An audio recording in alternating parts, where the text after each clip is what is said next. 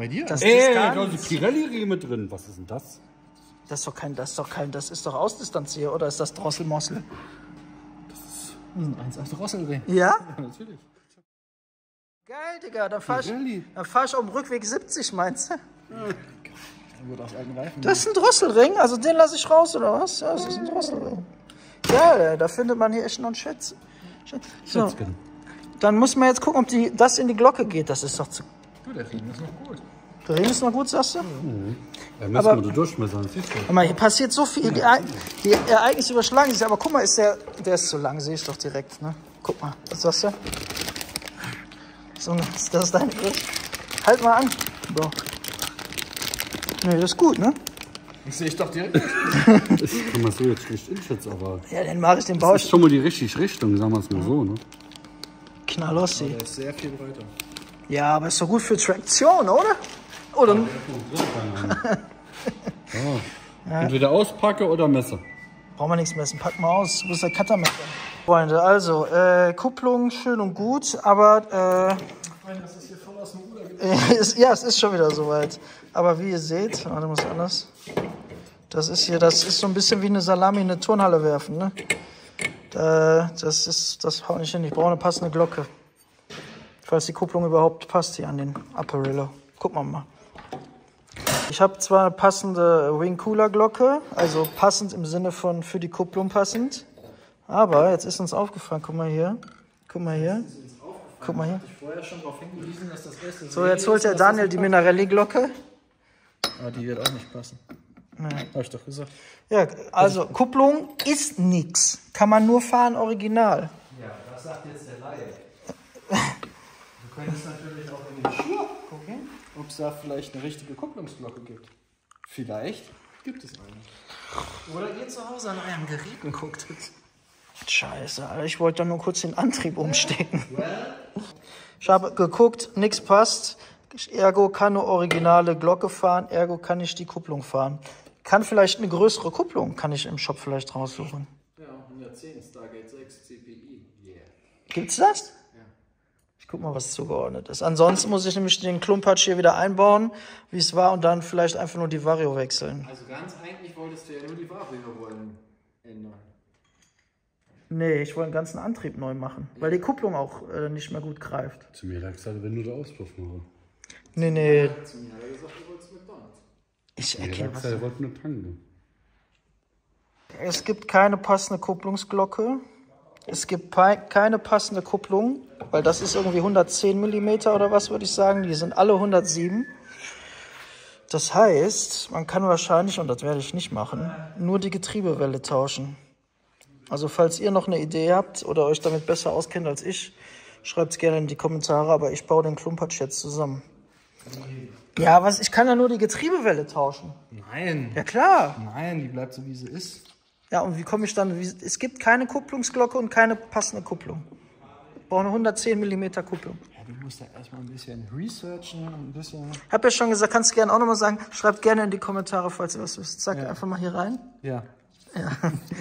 So, ich baue Da das gibt es bestimmt irgendwas für, aber das Zeug ist ja wirklich so uralt. Das ist ja, was ist das für Also ein Baujahr? Guck mal. hier.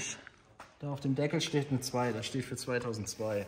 Ja, aber es ist, ich muss auch sagen, ich finde es auch super spannend, weil ich habe es so noch nie gesehen. Dann muss das wirklich von 92 sein. Guck mal, mit außenliegenden, dann kannst du so Lager. durchdrücken. Schon geil, ne? Freunde, aber zumindest äh, die Vario scheint äh, bis hierhin mal zu passen. Also ich habe noch nichts noch nichts drüber geschoben, aber ja doch, die Vario passt. Geil. Ja, immerhin das. Die Vario war noch hier oldschool verschraubt. Wo habe ich denn die Scheiße hingemacht? Hier. Ne? Das Ding habe ich abgemacht. Jetzt gucken wir mal rein, was für Gewichte drin sind. Oh, leck, guck mal. Da sind Abstimmgewichte drin, eckige. Das ist natürlich auch geil. Aber dann kann ich zumindest wahrscheinlich sehen, was das für. Äh, was das für. Ach, das sind noch die geschlossenen Abstimmgewichte. Da müssen wir jetzt mal schauen. Abstimmgewichte original. Beim Auspuff hatten wir diese hier dabei. Die farblich passenden Gewichte. Das sind 5,5 Gramm. Bei der Vario sind 6,25 dabei. Ich würde jetzt tatsächlich, weil die so schön passen, erstmal hier die 5,5er reinknallen. Schneller Blick vom Profi. Bezüglich dem Kai-Riemen. Ja. Ja, haut hin, ne? Ist da viel breiter? Ist halt auch Verschleiß ein Thema, ne? Bisschen Verschleiß, aber ist ein bisschen breiter, ja. Gucken. So ein Ausdistanzierer mal gucken. Noch eine Distanzscheibe dazu. Ich glaube, dann greift aber gleich der Justus nicht mehr, ne? Der Mufti auf der Nupsi. Weil da muss ja die Sternscheibe, weil der E-Starter ja auch so 1A. Oh, da bist du aber schief gewickelt, ne?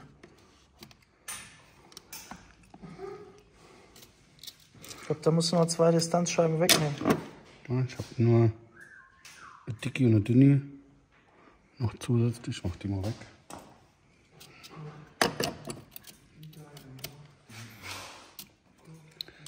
Ist schwierig, ne? Das ist schwierig. Was sagst du? Originale Riemen wieder, oder? Oder einfach hoffen, dass der sich bei schmeißt. Musst du noch eine Distanzscheibe Der? Schabturm auch wieder übersetzen, ne? Hm?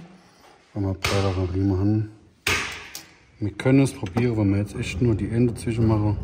Ja, Nein, das da ist echt das Minimum. das ist schon scheiße, ne?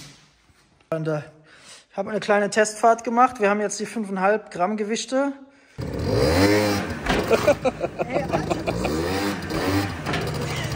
Ich wollte, ich wollte nur andere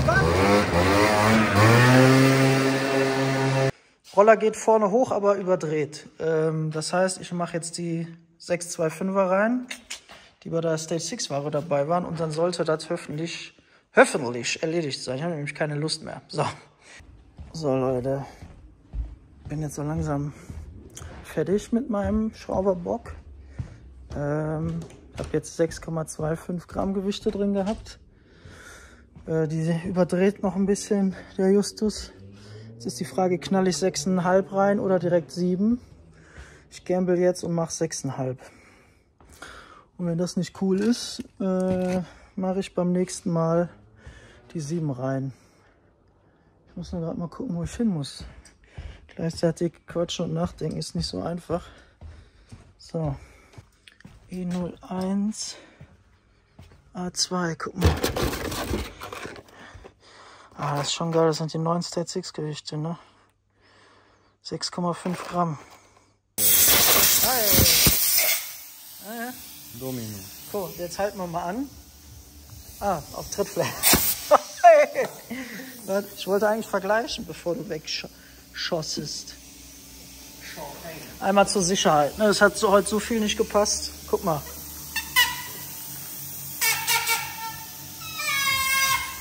Verstehst, verstehst du? Der passt nämlich, der ist nämlich zu groß hier, oder? Hä? Was? Was laberst du? Äh, der geht über die Mufti hier rüber und der geht an die Mufti ran. Verstehst du? Glaubst du wirklich? Ja. So, und, fest? ja, ja, ich halte fest, ich stelle mich dagegen.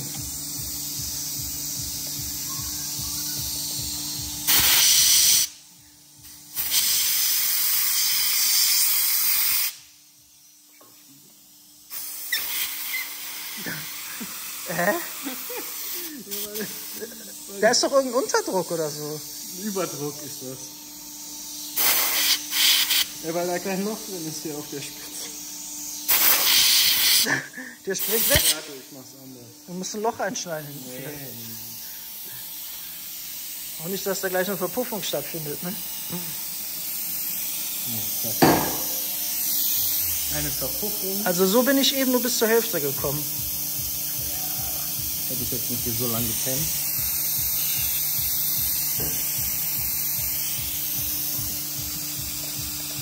Ach, Digga. Der Daniel hat die Kraft noch, ne? Das, paar, die zwei, dreimal Training haben gereicht. Das, So, Geil. geil, Digga. Also da muss ich sagen, Stargate 6. das ist schon geil. Einen Tag später.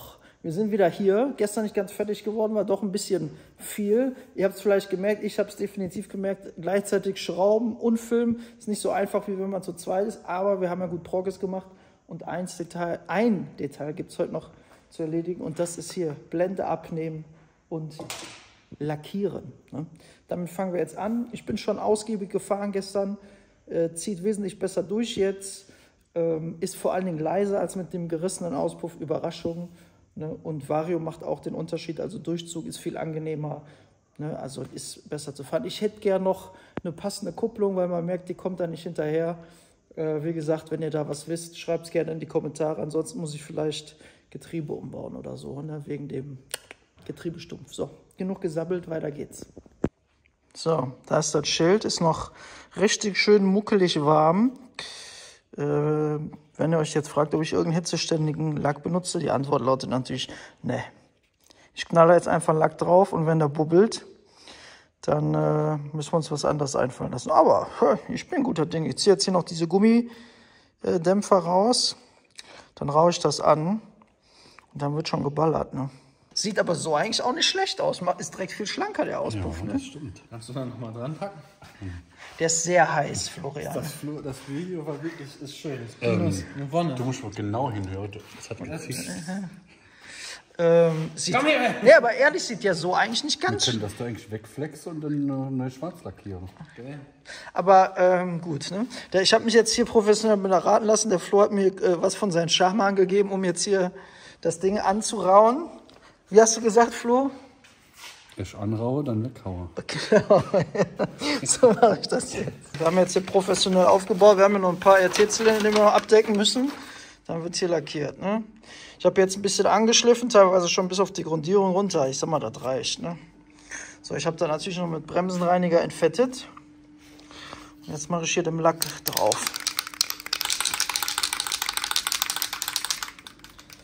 EMG schießen.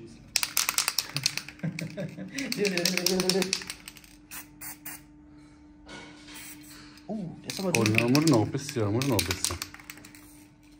Oh, hast du gesehen, war verstopft? Ah, jetzt kommt er. Oh, Ja, ja, langsam. ah, das ist verkauft.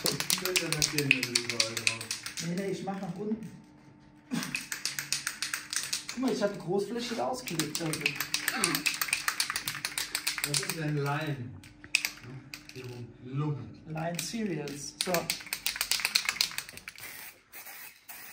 Die, ich habe gesagt, erst die Kante von mach ich unten. Von Ja, unten. da spritzt mir mal in die Fratz. Ja.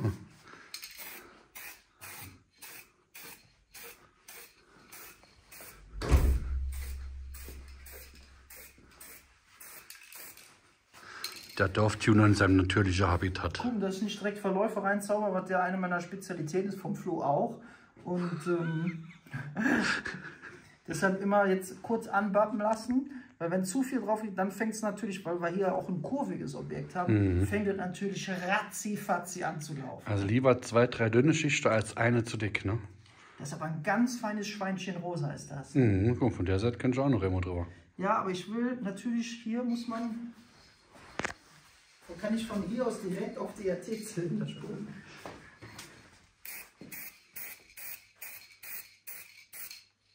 Nicht zu gierig werden, das ist hier der Zauber. Guck mal da. Die Kante, genau, Die hoch. Forest Kant und da auch. Forest Gump.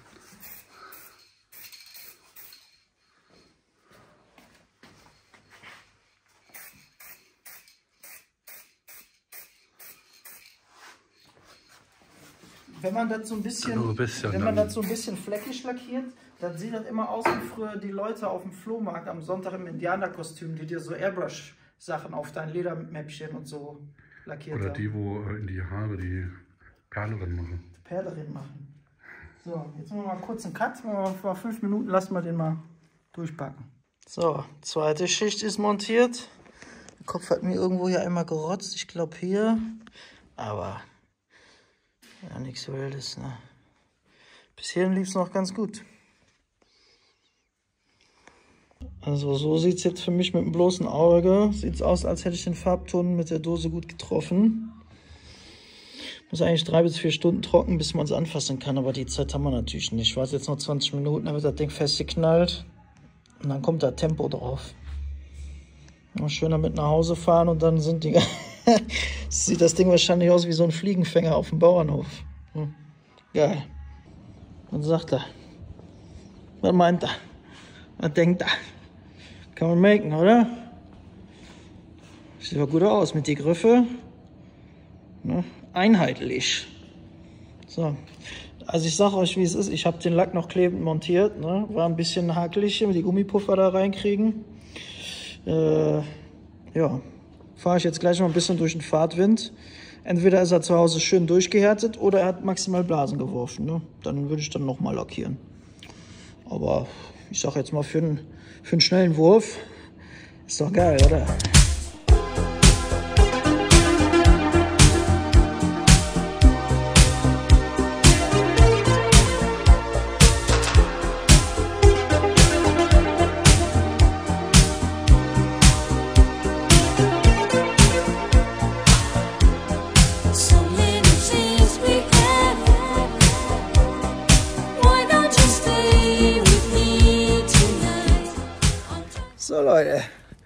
Ist das Ding. Ne? Fertig soweit für den Moment. Äh, ich hoffe, es hat euch gefallen zuzuschauen. Ein paar neue spannende technische Infos und Details zu äh, entdecken über die erste Serie dieser Motoren. Für mich war es sehr spannend. Äh, entschuldigt bitte, wenn es ein bisschen anders war als sonst. Ich habe gleichzeitig geschraubt und gefilmt. Ähm, schreibt gerne mal in die Kommentare, ob ihr noch eine Idee habt wegen der Kupplung. Da muss auf jeden Fall noch was passieren. Ja, das reicht aber erstmal für den Moment. Danke, alles Gute und bis bald.